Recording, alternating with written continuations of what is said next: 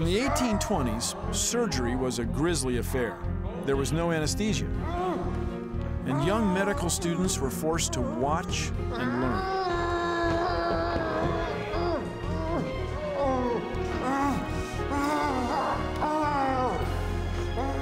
The young man who walked out that day was Charles Darwin.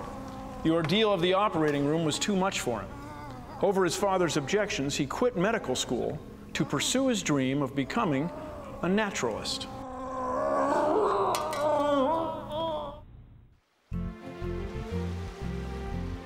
Darwin was hired as a naturalist aboard the British Admiralty's HMS Beagle, which embarked on an expedition to survey and map coastal waters around the world.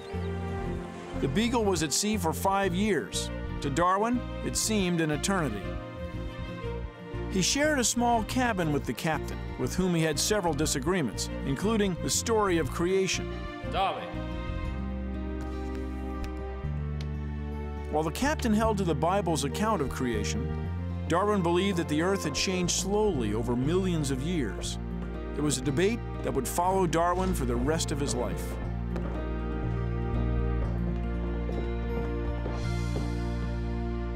The British government paid for this? No, actually, Darwin's father paid for his voyage and also paid for an assistant to come with Darwin and, and help him uh, skin the specimens and uh, prepare the crates for shipment.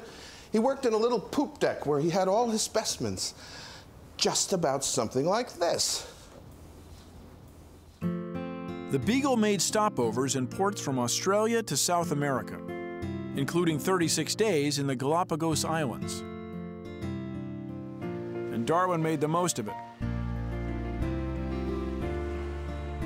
He recorded extensive observations about the indigenous plants and wildlife. He collected and preserved thousands of specimens for study. For years after the voyage, Darwin would recall the observations he made while aboard the Beagle. It was not until 1837, a couple of years after he returned from the Galapagos, that he opened his first species notebook. And he asked himself the question, very ambitious question for a man in his late 20s. What are the laws of life? Is this Darwin's whole point? It was Darwin's whole point to try to find laws operating in the natural world similar to the laws that physicists and chemists had found in inorganic nature. Darwin's search to understand the laws of nature took shape as he studied the animals on the Galapagos Islands. Of special interest to him were the physical differences within a certain species. For example, the finches on the Galapagos had different shaped beaks. They varied according to the environments where the finches lived. Some had beaks that were hard and blunt, ideal for hammering open crab shells.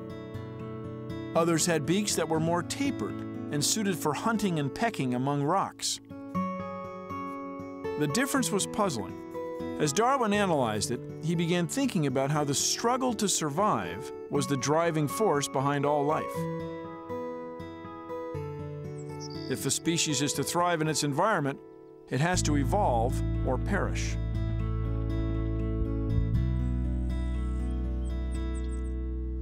With this simple yet powerful insight, history was made. Darwin discovered the mechanism that made evolution work the process of natural selection. Darwin wasn't the first guy really to come up with this, right? What was his special or particular insight? He was the first to, to, come up with a specific mechanism, that is natural selection. He was the first to popularize the idea of deep time, millions of years that this process involved. He was the first to popularize the idea of the tree of life, in which we're related to all living things. The great geneticist uh, Dobzhansky once said, nothing in biology makes sense without evolution. Because biology today is evolutionary biology. That's what biology is all about and has been all about since 1859.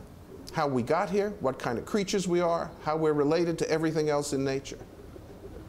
It's been established we are all part of one great tree of life, plugged into a bloodline, to a DNA that links us to every living thing on earth. That's not metaphorical, that's literal. Why did it take Darwin 20 years to publish his ideas? He knew there would be a storm of religious protest. His own wife was not happy that he was going to write things that were incompatible with the Bible. She wrote him a letter when they were first married saying, I hope that uh, your science will not lead us to spend eternity in two very different places. Wow. And she was seriously concerned about this. Plus, he was trying to build up a mountain of evidence that would be incontrovertible.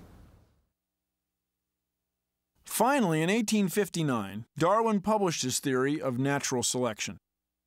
His book, Origin of Species, is considered one of the greatest books ever written. People talk about the theory of evolution, right? But Darwin was the guy that said, well, there, there isn't any absolute truth here.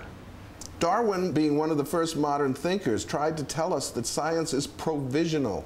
It changes. What do you mean it's, by provisional? It means it's the best truth you have at the moment. And when you get more data that can't be explained that way, then you have to get a new theory. So it's not an eternal truth. It's a provisional truth. It changes. And he did not want evolution to be accepted as a dogma or a creed. He would have been the first to say, throw it out if you got something better.